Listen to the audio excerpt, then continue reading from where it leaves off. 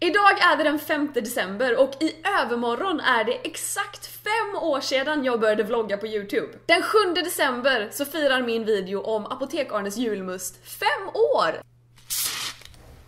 Wee! Skål! Mmm! Och det har hänt så himla mycket under dessa fem år som jag har funnits på Youtube. Däremot så är gåtan om Apotek-Arne fortfarande inte löst. Vem är egentligen denna Arne? Och vet han inte om att man alltid stavar namn med stor bokstav? Vi har frågat oss dessa frågor i fem år. Är det inte dags att vi en gång för alla går till botten med mysteriet om Apotek-Arne? Välkomna till Apotek-Arne Exposed. I den här videon kommer jag att försöka ta reda på Arnes sanna identitet. And for my English speaking followers, this is julmust, it's like coke but Taste like Christmas. Okej okay, hörni, det är dags att försöka ta reda på vem Apotek-Arne egentligen är. Jag har lite ledtrådar som jag har skrivit ner som jag tänker att vi, vi betar igenom dem och ser vad vi kommer fram till. Alltså den första, mest självklara ledtråd måste ju vara jul. Det är en juldricka, det heter julmust. Julklappar man får julklappar av tomten. Om man inte är snäll får man inga julklappar utan då får man kol, säger sägnen. Kol som i kolsyra.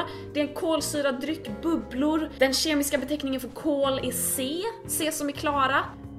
Fan, det där kanske inte leder någonstans. Om vi går på namnet då, Apotek Arne, bokstäver, vad finns det för kodspråk? Apotek Arne, AA. A är den första bokstaven i alfabetet, alltså 1. AA blir 11, alltså 11. Som i 2011, som är året jag la upp klippet om Apotek-Arne. Åh oh, fan, det finns någonting där. Det finns någonting där. Jag kan inte sätta fingret på vad. Om jag använder min dator lite då, vad finns det för... Det kanske är en känd Arne. Vad finns det för kända svenskar som heter Arne? Arne Andersson, Arne Arvidsson, Arne Börling, Arne Borg, Arne Karlsson. Helt ärligt, jag känner inte igen en enda av dessa. Förutom Arne Weise. Arne Weise måste ju vara Sveriges mest kända Arne. Kan det vara Arne Weise som är Apotek-Arne? Arne Weise har varit julvärd i massa år, jul som är julmust. Det är långsökt, men det är en ledtråd. 7 december 2011 kom klippet ut. 7 december. Har det hänt? Finns det historiska händelser kring den 7 december? Ska vi göra en liten throwback och se vad som hände den 7 december genom åren? Marie Picasso vann Idol. Ungern besegrar Sovjet med 4-0 i vattenpolofinalen i OS i Melbourne. Nej. Fan, det här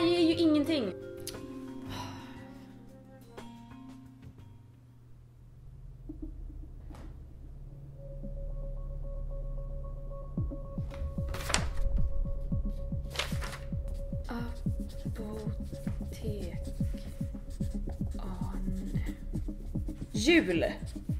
Kol, alltså C. Arne Weise. A, alltså siffran 1 och en throwback. J, C, W, I, T, B. Om vi sätter ihop bokstäverna i alla mina ledtrådar så blir det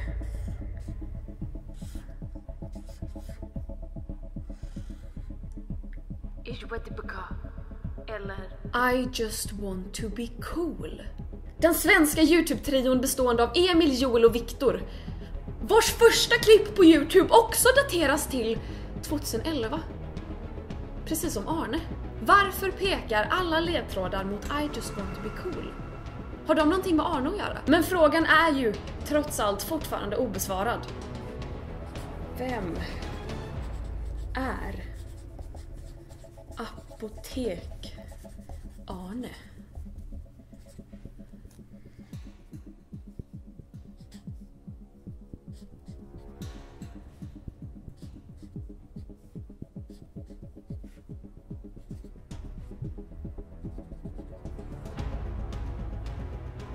Va?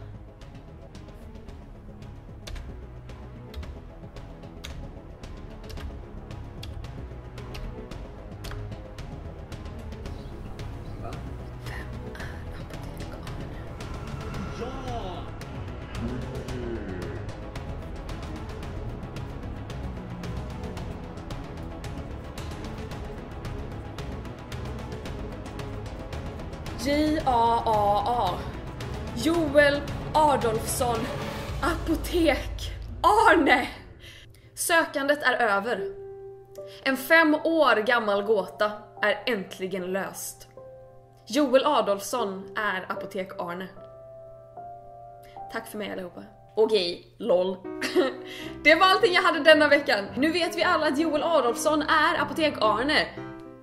Mystery solved! Alltså kompisar, tusen tack för fem år på youtube. Det här har varit de bästa fem åren i mitt liv. I love you! Yes I'm gonna say it, I love you! Jag trodde fan aldrig att min karriär skulle börja med lite julmust. Och sist av allt vill jag bara rikta ett personligt meddelande till Apotekarnes julmust, alltså ni som tillverkar den här jävla drycken. Det här är den andra videon jag gör, helt osponsrat, det jag pratar om er. En, alltså en, en livstidsförbrukning av julmust kan man tycka att man är värd. Men hur som helst, det var faktiskt allting jag hade för denna veckan. Ni får ta det vackert och så ses vi precis som vanligt nästa måndag.